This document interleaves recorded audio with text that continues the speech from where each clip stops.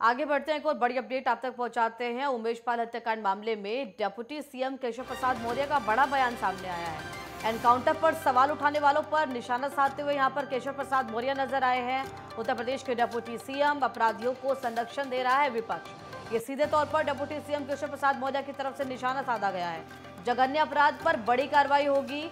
कांग्रेस नेता राशिद अलवी ने सवाल उठाए थे, एनकाउंटर पर ये सवाल उठाए गए थे, जिसका जवाब में यहाँ पर उत्तर प्रदेश के डेप्यूटी सीएम केशव प्रसाद मौर्य की तरफ़ से सीधे तौर पर हमला बोला गया है। केशव प्रसाद मौर्य ने ये कहा है, ये बड़ा बयान उनका सामने आया है कि किस तरह से विपक्ष के द्वारा शय दी जाती है माफियाओं को, गुंडों को और इसी के साथ अपराधियों को संरक्षण देने का काम विपक्ष कर रहा है।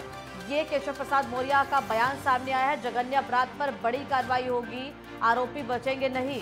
ये केशव प्रसाद मौर्य कहते हुए नज़र आए हैं। कांग्रेस नेता राशिद अलवी ने एनकाउंटर पर सवाल उठाए थे, जिसके जवाब में केशव प्रसाद मौर्य की तरफ़ से यह बयान दिया गया है कि विपक्ष अपराधियों को शय देने का कार्य कर रहा है।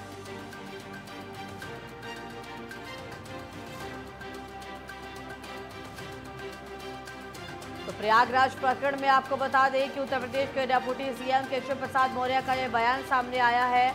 जिस तरह से विपक्षी नेताओं की तरफ़ से एनकाउंटर पर सवाल खड़े किए जा रहे थे, स्पष्टीकरण मांगा गया था। उस पर उत्तर प्रदेश के डेप्यूटी सीएम केशव प्रसाद मौर्य ये कहते हुए नज़र आए हैं कि हमेशा से विपक्ष ने अपराधियों को शय देने का कार्य किया है। संरक्षण फ़िलहाल भी दिया जा रहा है और जघन्य अपराध पर बड़ी कार्रवाई होगी।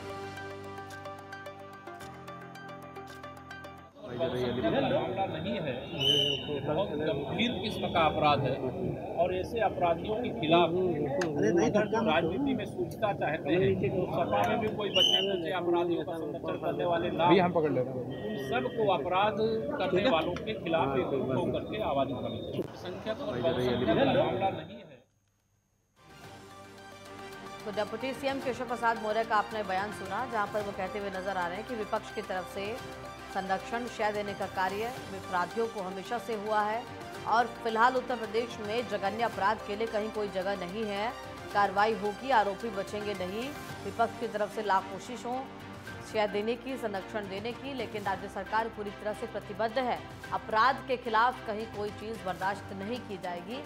ये सीधे तौर पर यहाँ पर बयान देते हुए, स्पष्टीकरण देते हुए केशव प्रसाद मौर्य, उत्तर प्रदेश के डेप्यूटी सीएम, और सीधे तौर पर ये उन सभी विपक्षी नेताओं का जवाब है यहाँ पर केशव प्रसाद मौर्य को, जो कि पिछले कुछ दिनों में हुए एनकाउंटर्स पर सवाल खड़े करते हुए नज़र आए।